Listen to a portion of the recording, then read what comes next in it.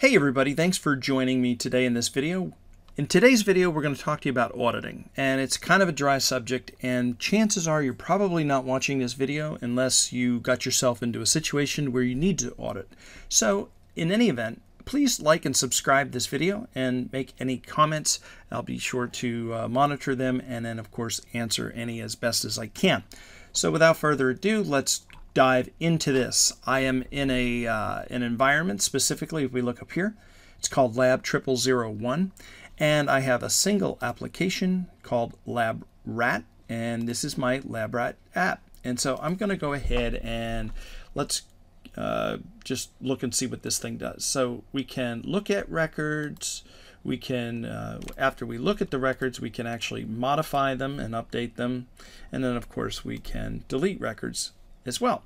And so simple CRUD operations here, uh, obviously we can add new records and then of course there's a dashboard to look at some statistical information specifically about customer demographics. All right, so that is our very down and dirty simple app. So with regards to auditing, let's talk about what we need to do to look at. Maybe we've got data that we want to modify or uh, monitor who makes deletes and changes and that kind of stuff. So first thing you need to do is come over here in your environment and click open this gearbox. And I want you to take notice of Admin Center and Advanced Settings. We're going to use both of those in this video, and you're going to need to use both of them as well. But I want to take you down the steps, or the proper steps and path, to make sure you don't get yourself into trouble. So let's go ahead and click on the Admin Center. And the reason we're going here is because we want to twirl open this resources and you want to look at capacity. Okay, so this uh, screen here. So let's look at the date. Today is uh, June the 30th, 2021. That's the date of the recording and that's how this screen looks. This screen and the entire platform is constantly changing. So somewhere in the future, this screen may look slightly different to you or for you. In any event, what you want to do is know that right now on the summary tab, this is my tenant level. It doesn't matter how many environments I have. If you want environments, you got to come over here to Dataverse, and here's all your environments. But the reason you want to come here is you want to look at this thing here. The Dataverse, as far as you're concerned, based on what you're paying for in your tenant, you have database capacity. So I have almost 12 gigabytes of storage capacity in my uh, for my database information. If I store files in my CDS, so one of the column types is of type file. Um, that's how and when this is used. And so any files that I store in Dataverse, I have up to 30 gigabytes of data that I can store for files. And now the purpose of this video is logging. So right now I'm not using anything for my logging, which is good because I need to turn it on to troubleshoot or sleuth some issue and I want to make sure that there's plenty of capacity. Now for you, you know, the situations are going to wind up, uh, the worst case scenario situation for you is going to be that your log information is full. You got a bunch of environments, you're running out of space. So either you need to clean out some logs for some other environments or what you need to do is somehow find uh, a way to get more resources by purchasing more uh, capacity. So in any event, hopefully that's not you. If you want to look down at the granular specifics on an environmental level, you can go ahead and go into here and this tells you about your log usage, file usage, database uses, and any last updates that were done to the environment. Okay, so that's enough of that. That's the only reason you need to go in here. Now, to turn on auditing, get into the auditing, we need to go into the advanced settings. Now, this is going to pop us over into the Dynamics 365 area. Now, I want you to notice how fast mine opened. Um, a lot of times people will go ahead and they'll click on this advanced setting, and when they do, this screen will just spin and spin and spin and spin and say loading. So if you're interested, I'll tell you, and I'll divert really quickly. Microsoft writes this application in ASP.NET. You can tell because of the extension ASPX. Anything that runs in ASPX typically runs in Internet Information Server or on a Windows web server called IIS. In IIS, there's this thing called an application app pool, and it basically will die or put itself to sleep if it's not used for 20 minutes. And because you very rarely, if ever, go into this screen, it has to spin up and start. It's like an application on start event, right? And so it takes a while for it to happen. So if you click on this cog like I showed you and click on advanced setting and this window just spins forever, just give it about 20 seconds to 30 seconds. If it's still spinning, close the tab, return, and come over here to advanced settings again, and it should launch fairly quickly, just like it does for me.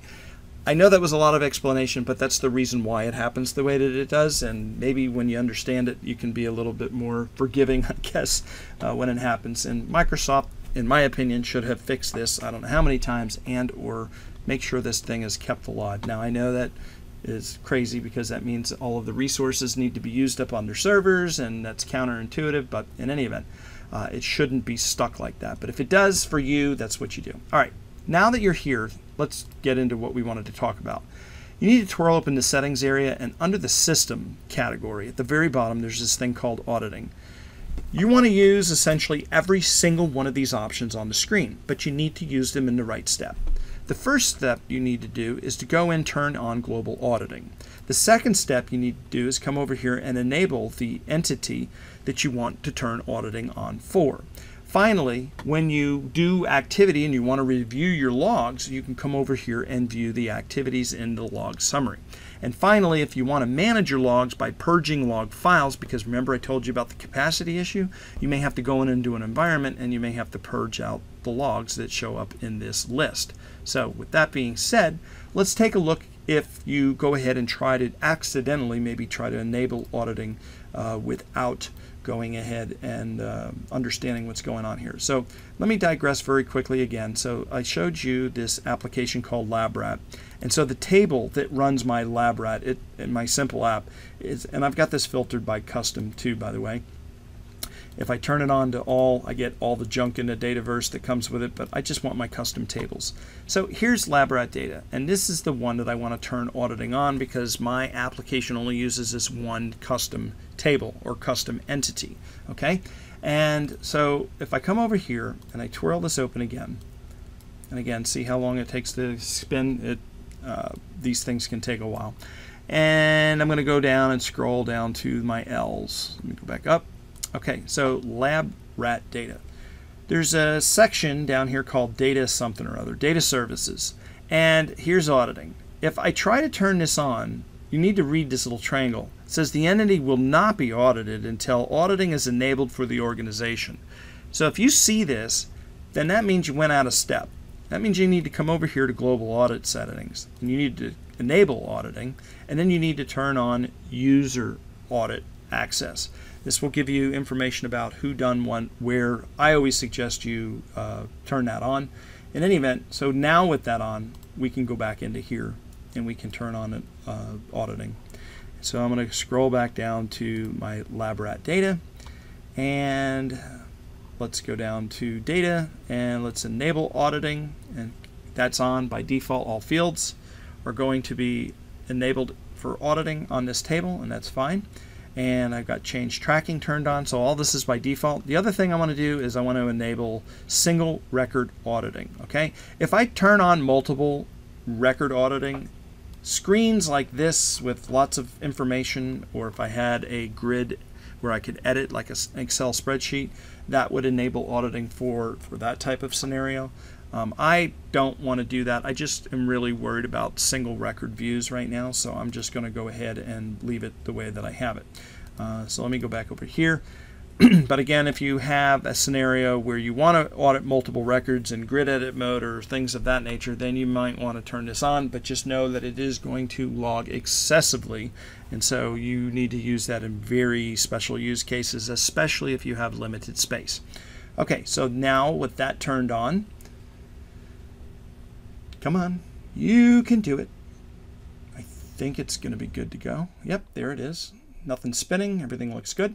All right, so I now have all of my stuff done. So let's go into my app and let's do new. And we're going to call this audit record. Easy for me to spell and type at the same time. Audit record. What is it?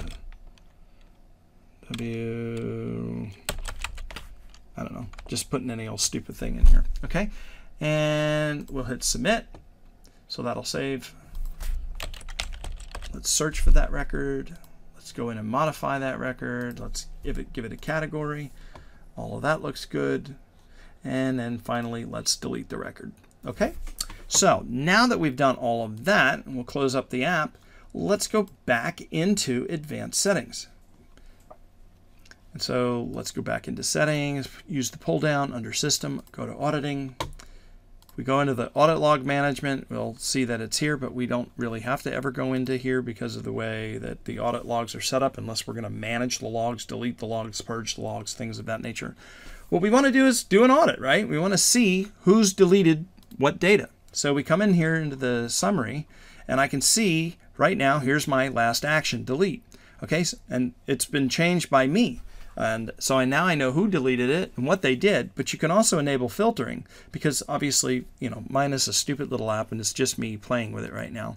So a real world app is going to have hundreds, tens, thousands of users, uh, potentially globally, accessing an app. And so there'll be a lot of noise into this.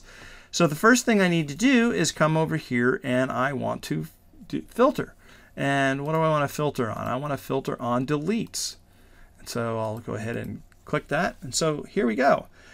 All right, here's a delete around this time frame. So that's probably what you'll want to do is narrow down the event. You'll want to narrow down the time frame that the event occurred in. And then to figure out what the record is, unfortunately, you have to click on the activity. And here it is. Audit record. Wait, you can see this is the record as it looked as I was editing and editing it. So now we know what the record was. We know who did it. We know when they did it, and so this helps us figure out what's going on in troubleshooting. Uh, additionally, this could be a rogue process that you have connected to your database, uh, such as Power Automate with a service account. If something happened here, you'll know that it wasn't an error in the application.